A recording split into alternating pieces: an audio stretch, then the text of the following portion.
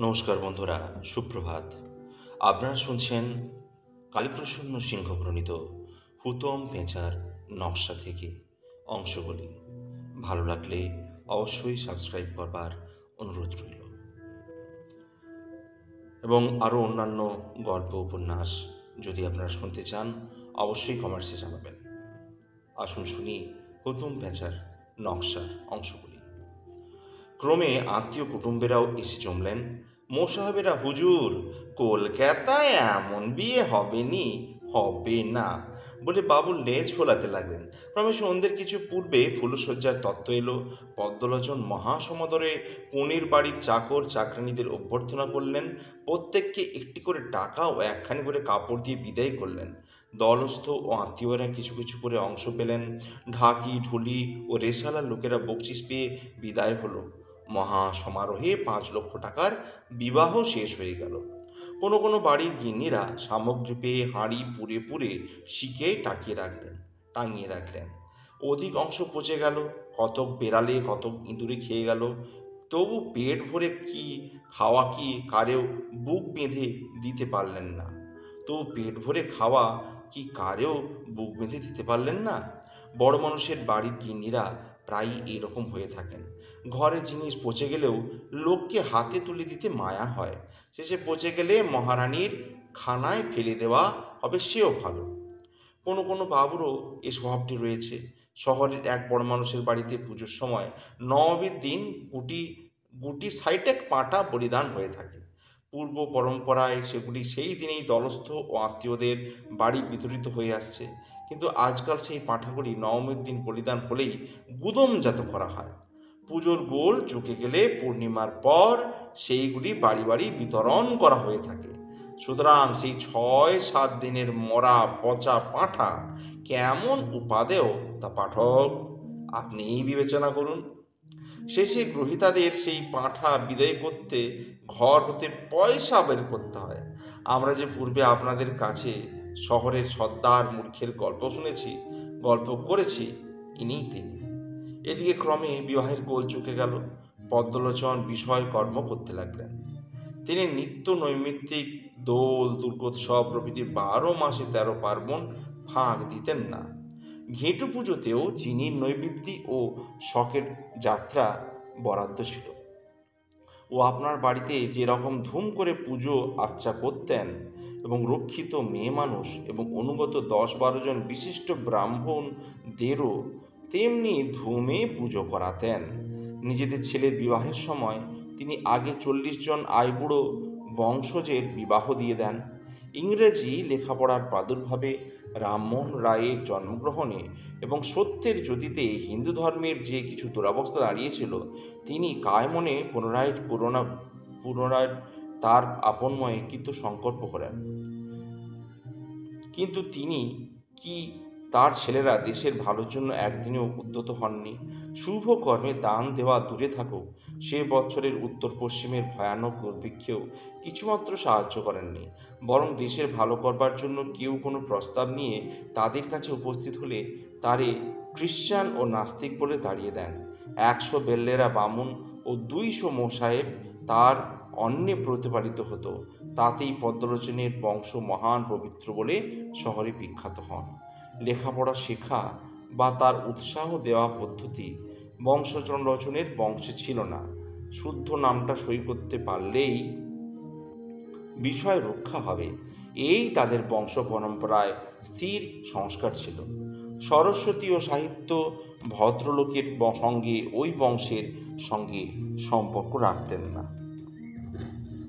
ঊনবিংশতি শতাব্দীতে হিন্দু ধর্মের জন্য শহরে কোনো বড় মানুষ তার মতো পরিশ্রম স্বীকার করেন নাই।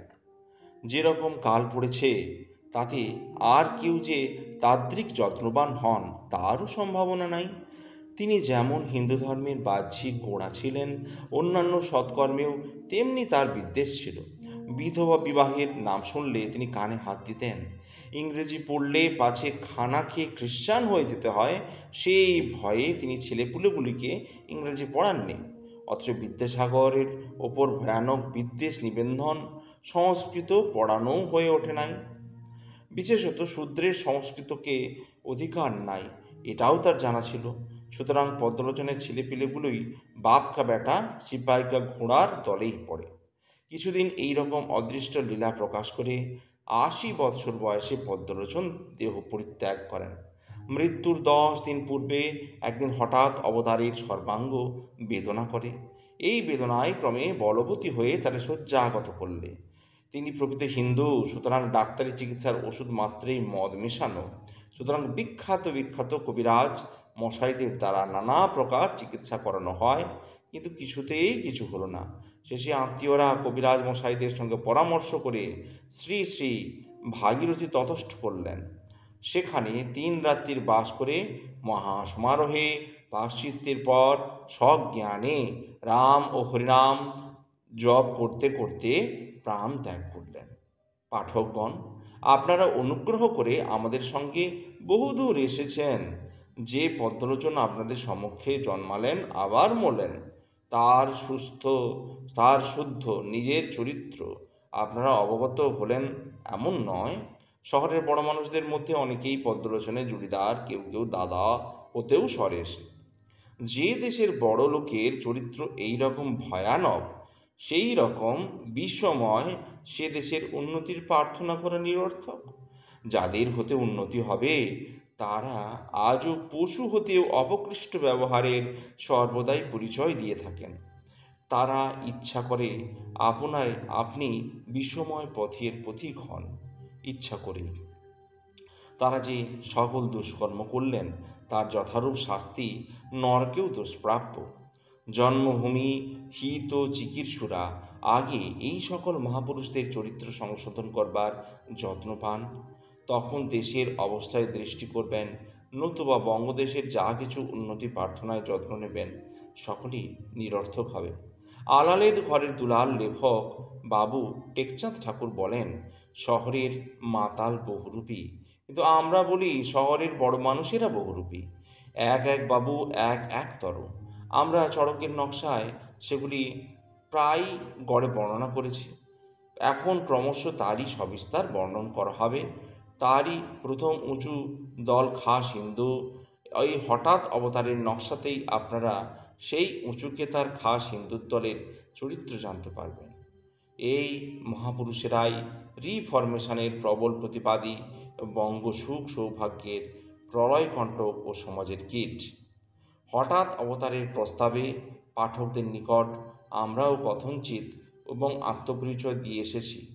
এবং আমরা ক্রমে আরও যত ঘনিষ্ঠ হব, ততই রং ও নকশার মাঝে মাঝে সং সেজে আসব।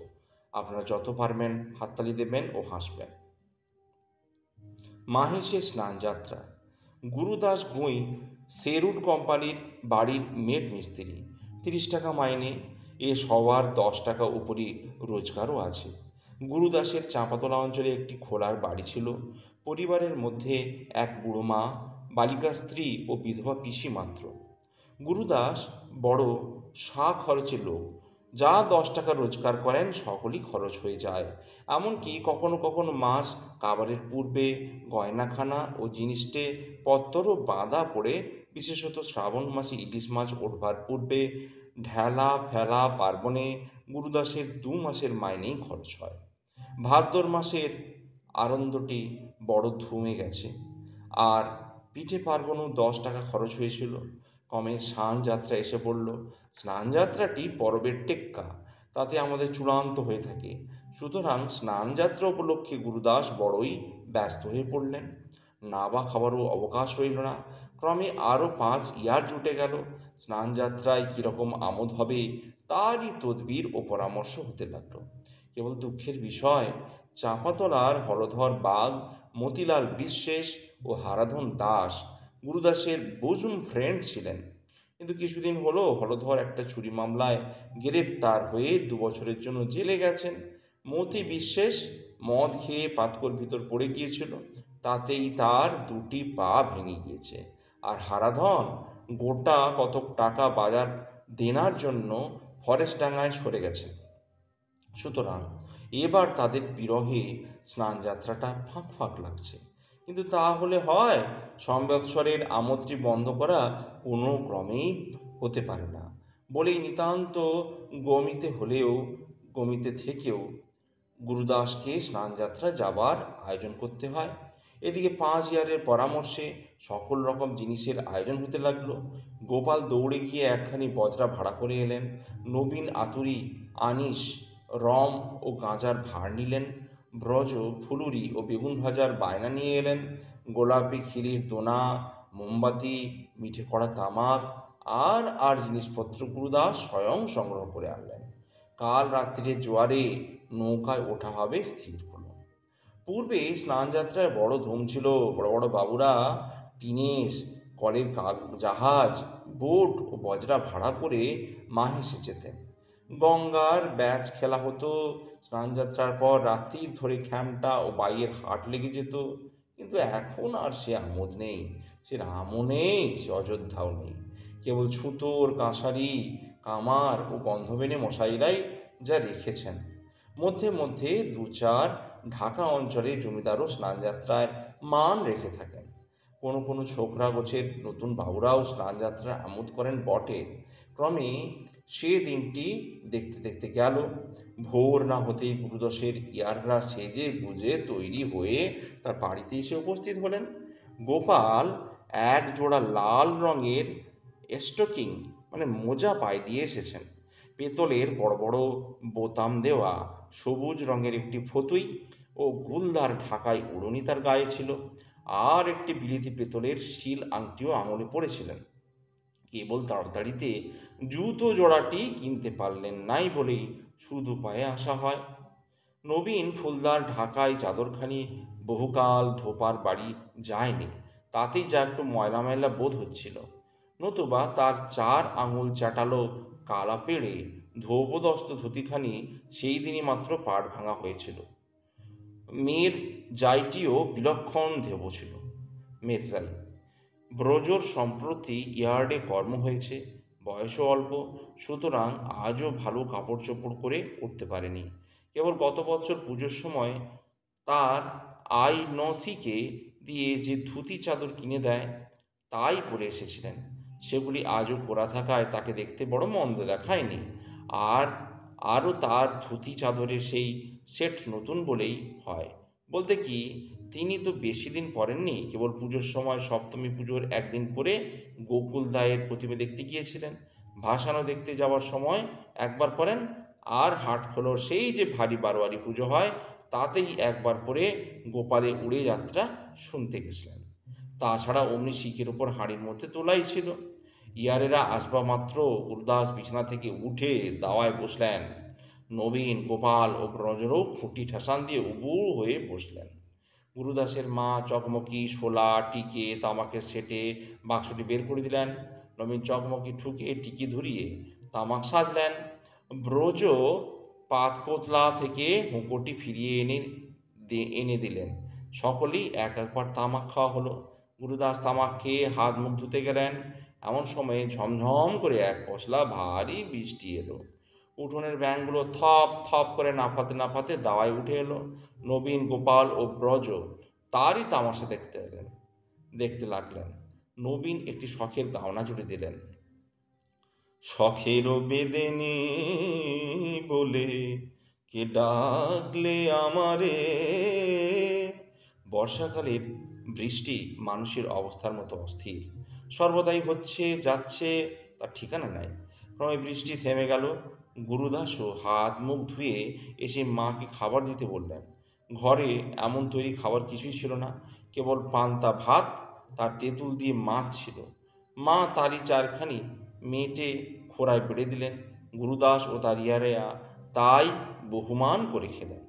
পূর্বেই স্থির ছিল, রাত্রিরে জোয়ারেই যাওয়া হবে, কিন্তু স্নান যাত্রাটি যেরকম আমাদের আমাদের পরব তাতে রাত্রিরে জোয়ারে গেলে স্নান যাত্রার দিন বেলা দুপুরের পর মাংসে পৌঁছতে হয়। সুতরাং দিনের জোয়ারে যাওয়াই স্থির হলো। এদিকে গির্জের ঘড়িতে টুংটাং টুংটাং করে দশটা বেজে গেল।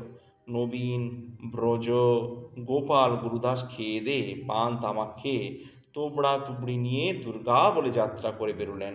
তার মা একখানি পাখা, দুটি ধামি কিনে আনতে বললেন।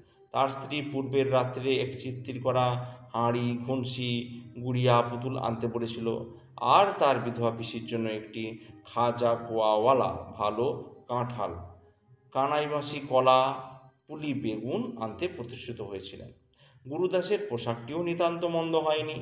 তিনি একখানি সরেশ গুলদার উড়ুনি গায়ে দিয়েছিলেন। উড়ুনিখানি চল্লিশ টাকার কম নয়। কেবল কাঠের কুঁচো বাঁধবার দরুন চার পাঁচ জায়গায় একটু একটু খুঁচে গিয়েছিল। তার গায়ে একটি লাল বিলেতি ঢাকা প্যাটনের পিরান ছিল। তার ওপর বুলু রঙের একটি চাপ চায়না কোট। তিনি বেঁচে থাকুক বিদ্যাসাগর চিরজীবী হয়ে পেড়ে এক শান্তিপুরী ফরমেসে ধুতি পরেছিলেন। জুতো জোড়াটিও রূপোর ব্রকলস দেওয়া ছিল।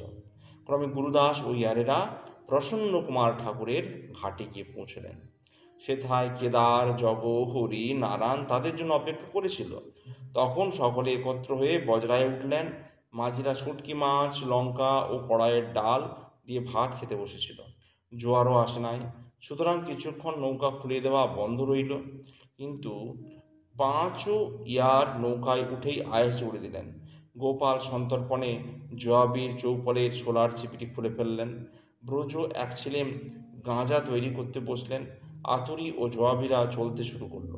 ফুলুরি ও বেগুন ভাজিরা সে কালের সতী স্ত্রীর মতো আতুরির সহগমন করতে লাগলেন। মেজাজ গরম হয়ে উঠল। এদিকে নারায়ণ কেদার মায়ার সঙ্গতে। হেসে খেলে নরে জাদু মনের সুখে, কে কবে যাবে সিংহে ফুকে তখন কোথা রবে বাড়ি কোথা রবে জুড়ি? তোমার কোথা রবে? ঘুড়ি কে দেয় টাকে তখন নুড়ো জেলে দেবে ও চাঁদ মুখে। গান জুড়ে দিলেন ব্রজ গাঁজায় দম মেরে আড়ষ্ট হয়ে জোনাকি পোকা দেখতে লাগলেন। গোপাল ও গুরুদাসের ফুর্তি দেখে কে? এদিকে শহরেও স্নান যাত্রার যাত্রীদের ভারী ধুম পড়ে গিয়েছে। বুড়ি বুড়ি মাগি, কলা বইয়ের মতো আধ ঘণ্টা দেওয়া খুদি খুদি কনে বউ, বুকের কাপড় খোলা হাঁ করা ছুঁড়িরা রাস্তা জুড়ে স্নান যাত্রা দেখতে চলেছে। এমনকি রাস্তায় গাড়ি, পালকি, চলা ভাগ আর শহরে কেরাঞ্জি ঘোড় গাড়ির ঘোড়ার কত ভার টানতে পারে তার বিবেচনা হবে না। গাড়ির ভিতর ও পিছনে কত তাংড়াতে পারে তারই তকরার হচ্ছে। একখানি গাড়ির ভেতর দশজন, ছাতে দুজন, পেছনে একজন, কোচ বাক্সে দুজন, একুনে পনেরো জন। এ সবার তিনটি করে আতুরে ছেলে, ফাও। গেরস্থের মেয়েরাও বড় ভাই, শ্বশুর, ভাতার, ভাদ্র বউ, শাশুড়িকে একত্র করে গেছেন। জগন্নাথের কল্যাণে মাহেশ আজ দ্বিতীয় বৃন্দাবন। অনেকেরই কেষ্ট সাজবেন।